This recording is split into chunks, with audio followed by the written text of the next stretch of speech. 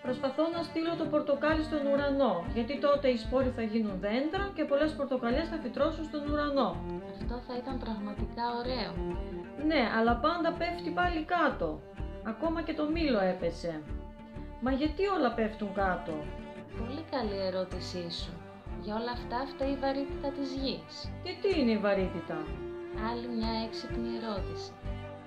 Η γη είναι ένας μεγάλος μαγνήτης που τραβάει τα πάντα προς το μέρος της. Η βαρύτητα είναι η δύναμη της γης να έλκει πράγματα προς αυτή.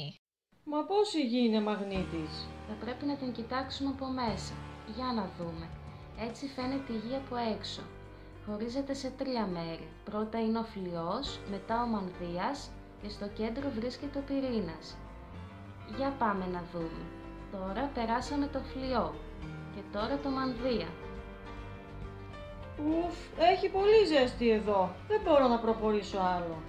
Ναι, έχει. Στον πυρήνα της γης κάνει πολύ ζέστη και υπάρχει και πολύ σίδηρο. Λόγω της μεγάλης θερμοκρασίας, τα μόρια του σιδήρου κινούνται πολύ γρήγορα και αυτή η κίνηση προκαλεί τη δύναμη που ονομάζεται μαγνητική δύναμη. Μέσα στο πυρήνα της γης, μόρια σιδήρου κινούνται γρήγορα λόγω της μεγάλης θερμοκρασίας και δημιουργούν μια ελκτική δύναμη. Ας γυρίσουμε πίσω τώρα. Ουφ, τι ανακούφιση, είχε τόση ζέστη εκεί μέσα. Για κοίτα εκεί πάνω Ναι, υπάρχουν πολλά μήλα στο δέντρο. και όμως δεν πέφτουν.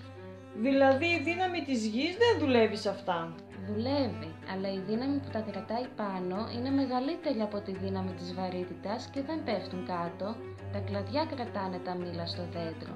Άρα η δύναμη αυτή είναι μεγαλύτερη από τη δύναμη της βαρύτητας. Μα όταν το μήλο μεγαλώσει, το δέντρο δεν θα μπορεί να τα κρατήσει και η γη το τραβάει κάτω.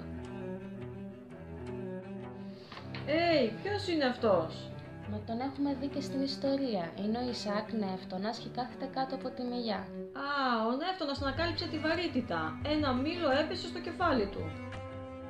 Ναι, και τότε αναρωτήθηκε γιατί έπεσε κάτω το μήλο και υπέθεσε ότι υπάρχει ένας μαγνήτης που το τράβηξε. Τότε κατάλαβε ότι η γη είναι σαν ένας μεγάλος μαγνήτης και τραβά πράγματα προς το μέρος της.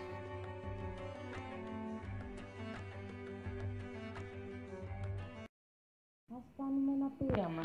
Ω, αυτοί είναι μαγνήτες. Ναι, μπορείς να παίξεις με αυτούς. Ας πούμε ότι αυτός ο μαγνήτης είναι η γη και η βίδα είναι ένα μήλο. Βλέπεις, η γη έλκει το μήλο. Ας τα σημειώσουμε όλα αυτά κάπου. Η γη έχει μια μαγνητική δύναμη που προσπαθεί να τραβήξει τα πράγματα κάτω. Τι προσπαθείς να κάνεις εκεί; Να, ελέγχω τη βαρύτητα της γης, αλλά η χάρτινη μπάλα που είναι πιο ελαφριά πέφτει πιο αργά από την πέτρα. Γιατί συμβαίνει αυτό; Μμ, δεν ξέρω. Ας ρωτήσουμε τη Σοφή Κουκουβάγια. Ας ανατρέξουμε παιδιά στο παρελθόν. Για να δούμε. Τα πιο βαριά σώματα πέφτουν γρηγορότερα από ό,τι τα ελαφρύτερα. Αγαπητέ μου Αριστοτέλη, με όλο το σεβασμό, επίτρεψέ μου να σου πω ότι διαφωνώ. Μα πώς, να κοίτα. Έχω δύο σφαίρες διαφορετικού βάρους και τις ρίχνω ταυτόχρονα. Είδες πως η βαριά σφαίρα έφτασε στο έδαφος γρηγορότερα από τη ελαφρύτερη; Ναι, έχεις δίκιο, έφτασε όντως γρηγορότερα, αλλά όχι λόγω του βάρους της. Τότε πώς το εξηγείς εσύ; Hm. Ας φάμε μια βόλτα στη σελήνη και να μας λυθούν εκεί όλες οι απορίες. Εδώ, όπως είναι γνωστόν, δεν υπάρχει καθόλου ατμόσφαιρα, ούτε αέρας, παρά μόνο λίγη βαρύτητα. Ας επαναλάβουμε εδώ το πείραμά σου. Ω, εντυπωσιακό. Έφτασαν ταυτόχρονα.